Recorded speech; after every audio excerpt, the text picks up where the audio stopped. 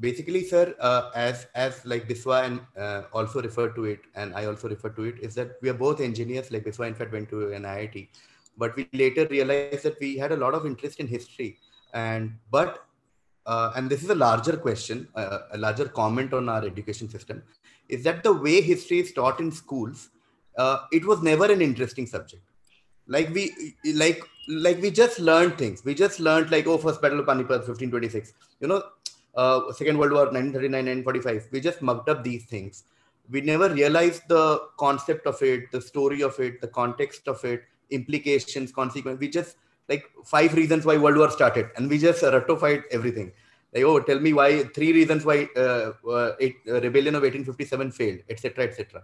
From you as a lifelong historian, uh, anything that you want to say about how history can be taught in a better way in schools? So, so the first thing I'd say is that you know, just as Biswa and you studied engineering and moved away, I didn't study history. I studied economics. I did a BA and MA in economics, and I was disastrous in economics. In fact, when I left economics to do a PhD in sociology, one of my teachers said uh, that is a Pareto optimum.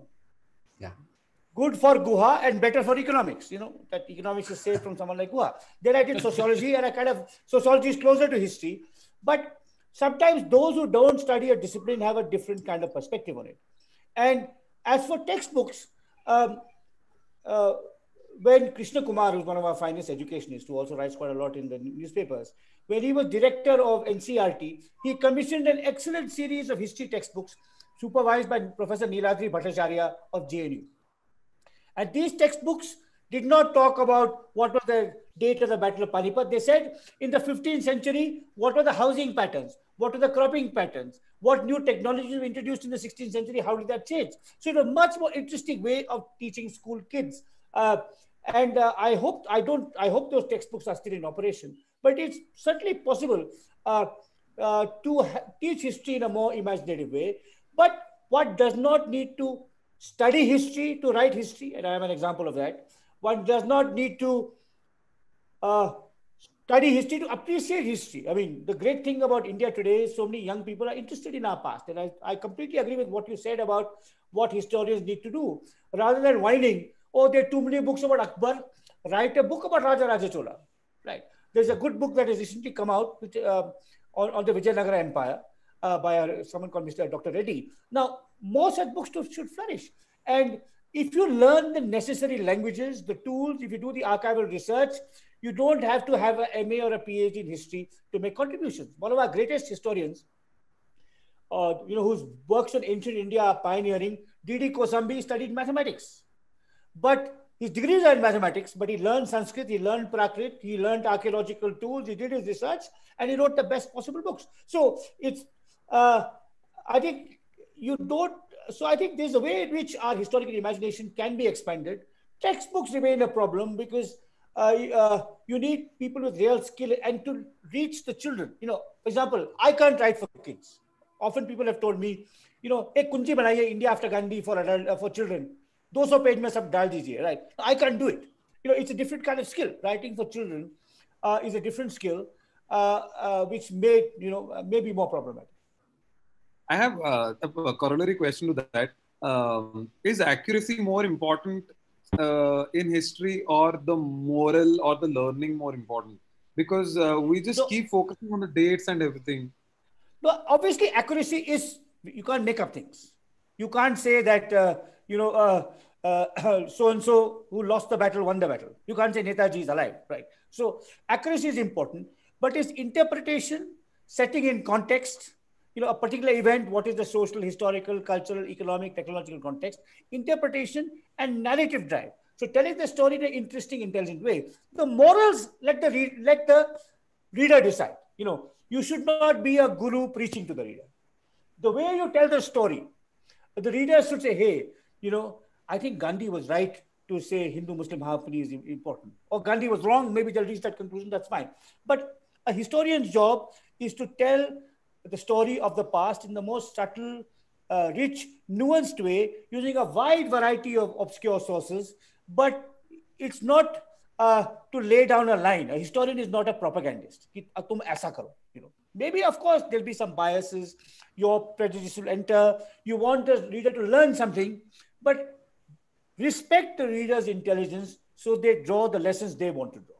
Gaurav Datta has a question which I didn't quite understand, but uh, he's given euros of 10 euros. So we have to talk to him because, I mean, at least have to acknowledge his presence. Uh, his question for Mr. Guha since comedians are on board and we know they take scoops from history, what stuffs historians can take away from comedians? Oh, that's an interesting question. That's actually think, an interesting question. I think uh, have a lighter touch, particularly in your personal, uh, uh, in your public engagements, you know, and even in your writing, you know, an interesting story, an anecdote, uh, you know, sometimes making poking fun at yourself. I think one of the good things that comedians do is they make a, take the Mickey out of themselves, right? And I think that's always very healthy. So I think absolutely historians can learn from comedians. I mean, and from comic writers, from comic writers. I mean, P.G. Wodehouse is one of my favorite writers. So here is a debate which I've been trying to settle with somebody, okay? And we were trying to figure out who the first Indian stand-up comedian was right and it was like so tenali rama and uh, and birbal are the two sort of uh, sort of uh, constant uh, standpoints where it's like that's probably but i'm sure that there's precedence even before of somebody being like a court jester and uh, or something. Like this uh, was there is there any well i think tenali raman and birbal are good because they're making fun of the king. I mean that's the thing. I mean the thing is yeah. you have to speak truth to power. I mean the, the comedian has to make fun of the guy uh, more powerful than him rather than that guy below him, right? That's no fun. To, to mock someone who's weaker than you is very uh, rather uh, easy and trivial thing to do. Uh, but I think it's really when when I was growing up, we didn't we didn't. I mean, social media, which has many nasty things about it, has produced. the good thing is that has given a fillip to stand-up comedy.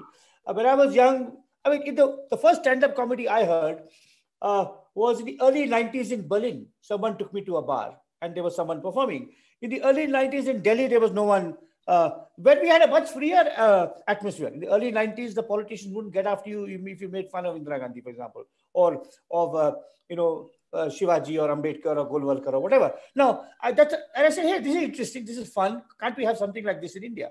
But it's only come with your generation, the last 10, 15 years, you know, and it's great to see this. I mean, it's great to see this flourishing of stand-up comedy and may it go on. Uh, very interesting thing I read, like I was reading about Birbal uh, recently, and uh, like since childhood we've read so many Akbar Birbal stories that Birbal in our mind is this this like funny guy and like doing funny stuff in a court. But Birbal was actually a great poet. He was a great general. He actually fought battles. Birbal actually died in a battle. Birbal actually died in what is the modern northwest frontier Pakistan. So it's so I, I it took me so much time to adjust to this new learning. So I kept going to different sources and Birbal was imagine this guy fighting in a war like with like, and I'm like अरे तू तो वो बोलता था यार कि अकबर ऐसे आप आम खा रहे हैं गुठली या यमुना में खड़े होके like कैंडल देख रहे हैं और खिचड़ी बना रहे हैं like why you doing all this it was a very very new learning for me